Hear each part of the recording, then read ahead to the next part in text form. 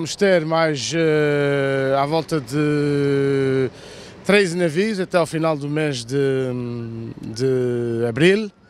E, portanto, até o dia 2 de maio, mais propriamente, vamos ter mais três navios. E com, com estes quatro, são 17 ao todo, que nos visitam nessa, nessa temporada. Vamos ter dois navios amanhã, dois navios na, depois da manhã, depois temos um interregno que só temos um navio por dia, depois voltamos a ter mais, mais dias com, com duas visitas diárias. Isso obviamente, como se vê, a cidade de Ponta Delgada anima, anima o comércio, anima, anima tudo, no fim de contas táxis, operadores turísticos, animação turística, uh, os chamados DMCs, que são as empresas que geram o destino, tudo isso traz muita economia às nossas ilhas, felizmente. E esta questão de virem dois, três, quatro, isto é, é por acaso, vai ser regularmente? Bem, isto são opções das companhias. Nós tentamos, eh, sempre que, faz, que estabelecemos os contatos com as companhias, uh, tentamos que venham massas passado avante.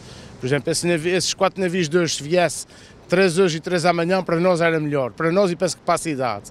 Uh, nós na segunda-feira passada, por exemplo, houve problemas com falta de autocarros para prestar serviço a tanta gente. Foram, foram cerca de 14 mil passageiros, é muita, é muita gente. Ehm, de maneira que se fosse mais espaçado era melhor. Mas uh, são rotas do interesse das companhias, as companhias estão em reposicionamento de frota das Caraíbas para o Mediterrâneo, nós ficamos aqui a meio caminho, a Ilha de São Miguel, a Ilha do Faial e a Ilha de Terceira estão cada vez mais no mercado e portanto é normal que uh, num futuro próximo isto venha a acontecer mais vezes, uh, com alguns constrangimentos para a nossa operação core, que é eh, a operação de carga. Nós tivemos que adiar um, parte da operação de carga para poder fazer essas, essas duas operações ontem e hoje. Uh, felizmente uh, temos um corpo profissional extremamente competente, extremamente dedicado, que conseguiu ontem despachar um navio de carga no intervalo entre a saída de um navio de passageiros e a entrada de outro. Não sei se repararam, mas o navio Furnas entrou ontem à, à, à tarde, depois da saída do primeiro navio de cruzeiros, uh, descarregou a totalidade dos contentores durante a noite e hoje de manhã já cá não estava para a entrada do navio Zenit da Pulmontur e portanto é uma operação que envolve também da parte da Portos dos Açores um esforço muito grande, quer do seu pessoal, quer da sua estrutura uh, um, dirigente, que uh, tem que planear muito bem toda essa operação. Essa operação correu muito bem, ao contrário do que, do que esperávamos, porque tínhamos algumas, tínhamos algumas, uh, algumas preocupações. Felizmente, uh, eu costumo dizer que o planeamento é meio caminho andado para que as coisas corram bem, mas ah, muitas vezes planeamos de uma maneira e sai-nos sai de outra e o planeamento não serve de nada. Uma coisa é certa, se não planearmos, certamente vamos errar. Nós planeamos, planeamos tudo muito bem, estamos há dois meses em contato com os DMCs, eh, há dois meses em contato com a Câmara Municipal de Ponta Delgada, com a PSP, com a Polícia Municipal, com a Câmara de Comércio, fizemos dois encontros com a Câmara de Comércio um, e, e, com o Centro Regional de Apoio ao Artesanato, como se pode ver por essa amostra que aqui está, é um excelente exemplo daquilo que se pode fazer, que se pode conjugar o, uh, os espaços da Portos dos Açores com uh, o desempenho dos, dos artesãos locais, que aqui estão também um pouco com o esforço financeiro do Centro Regional de Apoio ao Artesanato.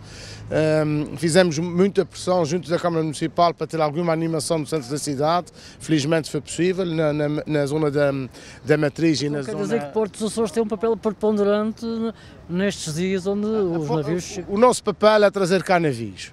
Este deveria ser o nosso papel principal mas eh, tendo em conta que somos uma empresa pública e que estamos neste, neste negócio, não faz sentido que não façamos a ponto com os outros atores, com os outros, eh, aquilo que nós chamamos os stakeholders. E acha do que a cidade está preparada com este, para esta avalanche?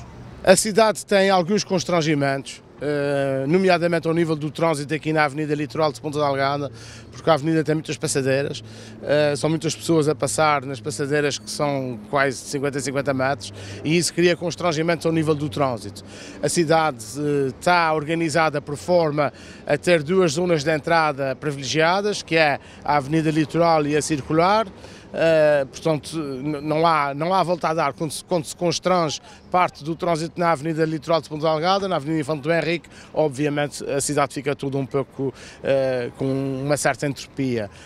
Eu penso que os pontos algadenses conseguem perceber isso e conseguem perceber a, a, a, a balança, os pratos da balança, a, difer a, diferença que fazem. Né? E, portanto, há aqui algum esforço que todos temos que fazer, vamos ter todos um bocadinho de perca de, da nossa qualidade de vida nestes, nestes dias para que a montante tenhamos outras, outras benesses e outras regalias. Baralta, nós estamos a ser vistos no Canadá e Estados Unidos. qual é a mensagem que deixa ficar? Qual é a imagem que deixa ficar aqui aos nossos imigrantes que nos estão a ver? Olha, eu costumo, eu costumo dizer que a nossa gente, a nossa gente que, que nos vê uh, mata a saudade, não é? Uh, como, como, dizia o, o Daniel de Sá, a pior maneira de ficar na ilha é sair dela. A nossa imigração é um pouco isso. É, é, na sua grande maioria, uma gente que vive permanentemente a pensar na sua terra, daí a necessidade desses órgãos de comunicação uh, fazerem levar uh, essa mensagem a esses, a esses mercados distantes. Eu, eu, diria que é uma boa oportunidade para os nossos imigrantes que estão na América e no Canadá aproveitarem essas ligações, podem, podem apanhar muito facilmente um barco em Miami, ou nas Bermudas, ou até mesmo em Nova York e virem até aos Açores nessas vésperas de, de Assunção de Cristo dos Milagres, passarem aqui as festas e regressam de avião, já que às vezes há constrangimentos no, no, no espaço dos voos. Eu por acaso hoje estive com um casal que, que, fez isso. E já o ano passado tinha encontrado um, um, casal de água de pau que também tinha feito esse, esse esforço. E, e que estavam muito contentes porque juntam o útil ao agradável, são pessoas que já têm alguma disponibilidade de tempo que estão reformados e que fazem uma viagem transatlântica desde Nova Iorque desde Miami até Ponta Delgada, passam aqui as festas e depois regressam, regressam à casa uh, de avião.